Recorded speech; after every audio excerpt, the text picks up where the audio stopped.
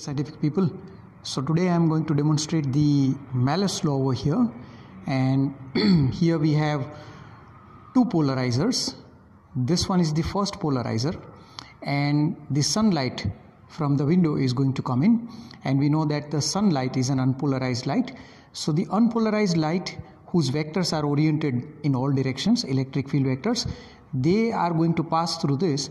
And when this light comes out from here it becomes polarized and this is the another polarizer and I'm giving the name as analyzer. So this is analyzer whose function is to check whether the light coming from here is polarized or not.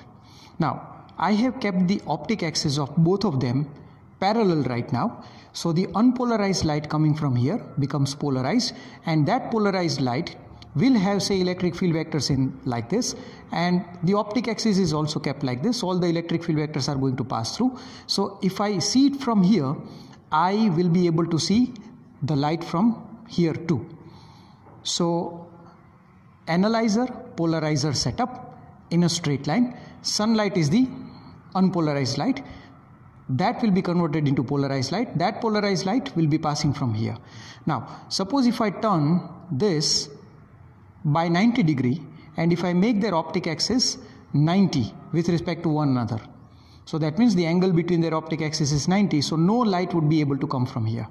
So we have to check that right and we do know that when the unpolarized light it comes out from the first polarizer there is a 50% decrease in the intensity of light.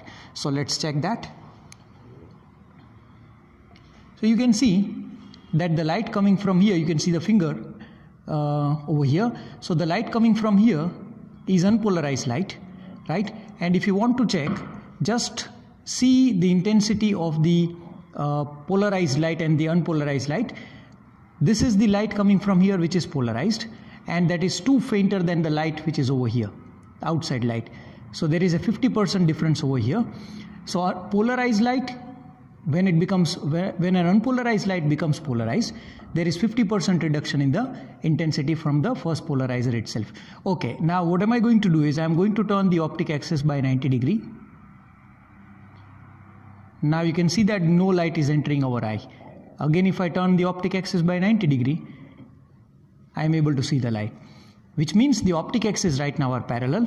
Again if i turn it by 90 degree no light comes through so this is a very simple demonstration of Malus law and uh, this is the polarizer, this is the analyzer.